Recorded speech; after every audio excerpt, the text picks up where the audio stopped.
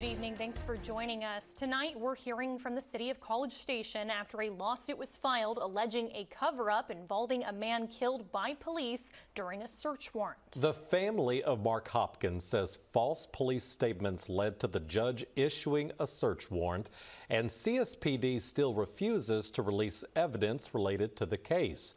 The city, though, says it's done nothing wrong. Donnie Tuggle investigates. In a 10 page court document filed in Brazos County today, the family of Mark Hopkins says they're seeking to force the city to, quote, uncover the full truth about what led to his untimely and unjustifiable death.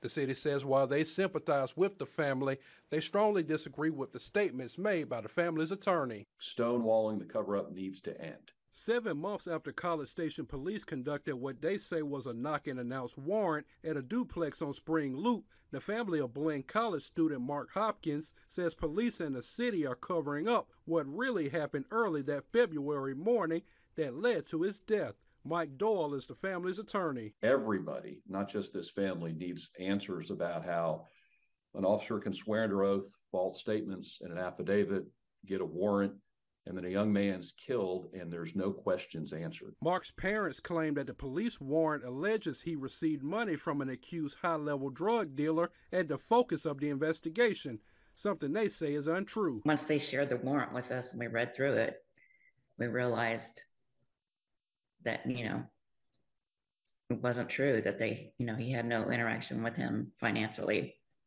or monetarily. And the family says CSPD has only been willing to provide attorneys with what they say is highly edited body camera footage of what they call an explosive military style raid and fails to show everything that led to Mark's death. You know, when they kicked down the door to, they kicked in his bedroom door after that, and there was exchange of gunfire, and that was, you know, awful as that is, there's stuff leading up to that that just we need to get to the truth, find out if they did it correctly. In a statement, the city says the Texas Rangers conducted an independent, thorough, fair, and transparent investigation, and the city is confident in their findings. They also say the Brazos County grand jury also reviewed the matter and returned a no bill, finding no criminal conduct by the officer involved. Attorneys are now calling on the city and police to reverse course and set the record straight for the Hopkins family and for the public the police department serves. The officer who actually fired the fatal shots was no billed by the grand jury, so there's really not any legitimate reason at this point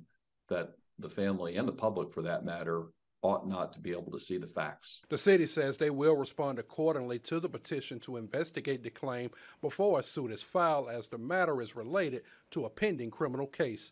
In studio, Donnie Tuggle, News 3. In other news tonight,